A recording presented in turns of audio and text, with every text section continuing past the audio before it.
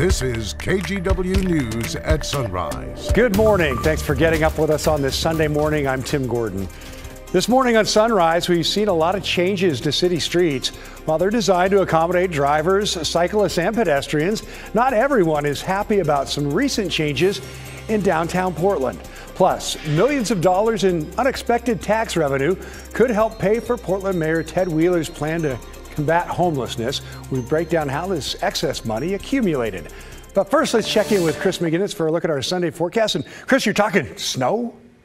Maybe. For starters, yes, we are talking about snow, but let's just say this it's going to take a little holiday magic to actually get snow on the valley floor in Portland. That said, a winter weather advisory is in effect here for much of western Oregon through the Columbia River Gorge and uh, east of the Cascades. There's no question that you folks there will see accumulating snow. But uh, through the west side and in the valley, let's show you what's going on here over the last two hours or so.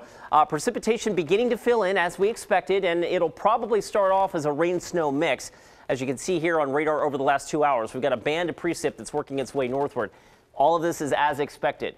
This will probably fill in as we go through the morning hours and as the precipitation rates drop off, that will probably start to drop our temperatures just a little bit. That said, if you're looking at this temperature map, you're saying there's no way it's going to snow in Portland and Vancouver at 40 and 39. You're right, but check this out. Scappoose is at 33, right? We slip south into the Willamette Valley. We've got Lebanon checking in with 31. So there are some cold pockets out there.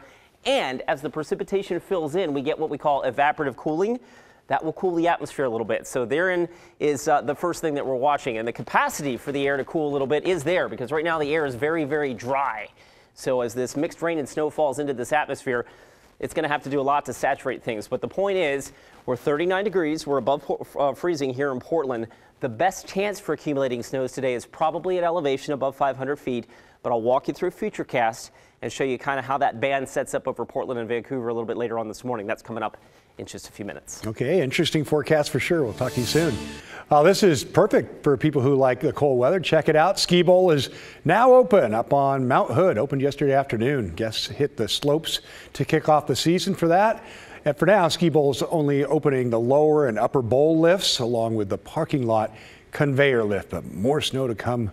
Ski Bowl, fun place to be. Well, you've probably seen all the changes to city streets. PBOT wants to accommodate all of the drivers, cyclists, and pedestrians. But as Mike Benner reports, some recent changes to a street in downtown Portland are not sitting well with everyone. It's no secret that downtown Portland is still trying to come back from the pandemic and all of that civil unrest back in 2020. But there are business leaders, one you're about to hear from, who believe this new guarded bike lane is not helping the cause one bit.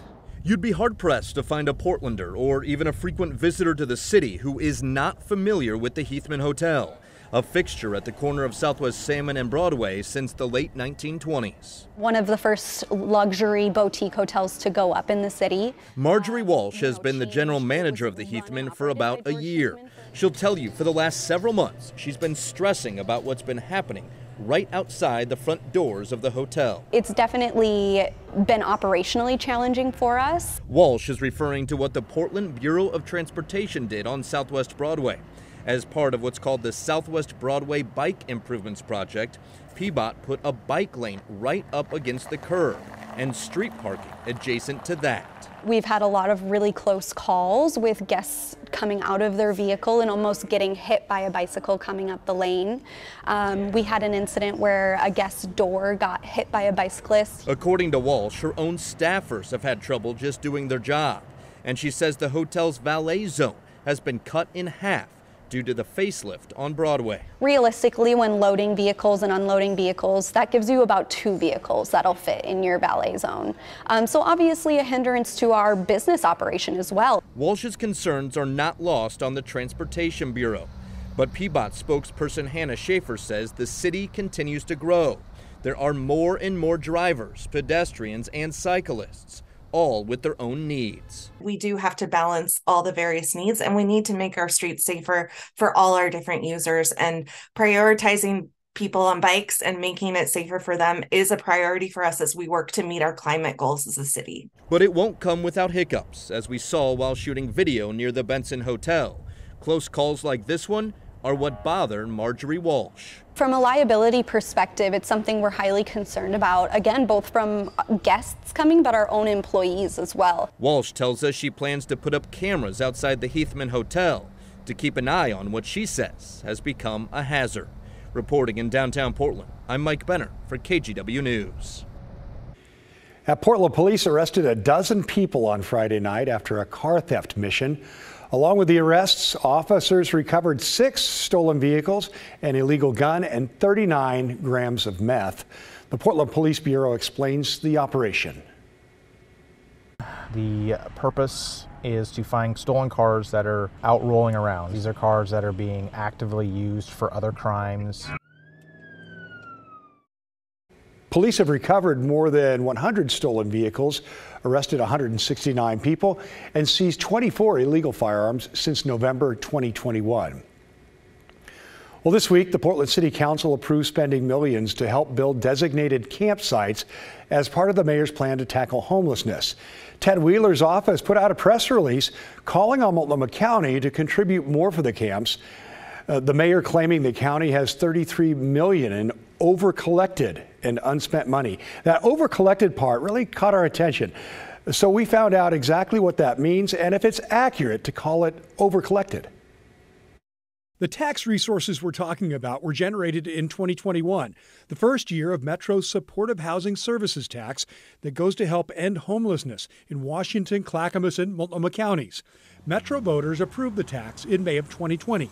The voters approved this tax as a 1% tax on incomes above $200,000 and a small tax on um, large businesses. Nick Christensen says when the measure was referred to voters, Metro projected it would raise $250 million a year.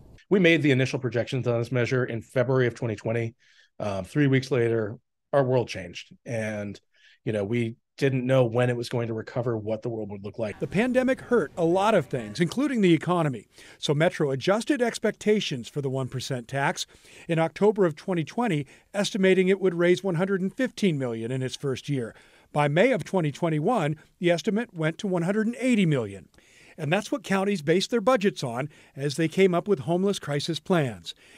It wasn't until April of 2022, after most had paid their taxes, that Metro found it had collected more than 235 million, about 55 million more than what it last forecast.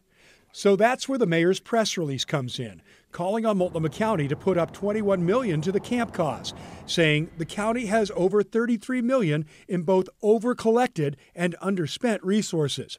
But nobody required to pay paid more than the 1% tax voters approved it's not fair to call it an overtax, but it really is a sign of a healthy economy and a sign that um, our recovery out of COVID is doing better, at least for the high income earners and large businesses that are paying this tax around the region. These tax dollars are going to work right now all over the, the metro area from Forest Grove to Troutdale, from Wilsonville to Portland. Um, people who need help are getting help, and bit by bit, we're trying to address this crisis on our streets.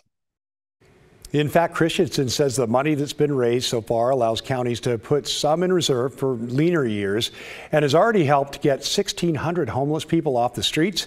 It also provides eviction protection services for 9,000 people in danger of losing housing. Well, Multnomah County is moving forward with a proposal to ban selling flavored tobacco and nicotine products. Commissioners voted in favor of it this week after the first reading. They'll look it over a second time on December 15th. If it ultimately passes, the ban would start in January of 2024. Supporters say the goal is to keep tobacco away from kids and teens. Opponents worry about the impact on businesses. Now, Washington County passed a similar ban last year, but a judge overturned it. The county is appealing that decision. Well, still to come this morning, it's time to get in the holiday spirit. Uh, for a lot of families, the first weekend of December means it's time to get a Christmas tree. So, how's business this year? And what do they cost? We'll show you.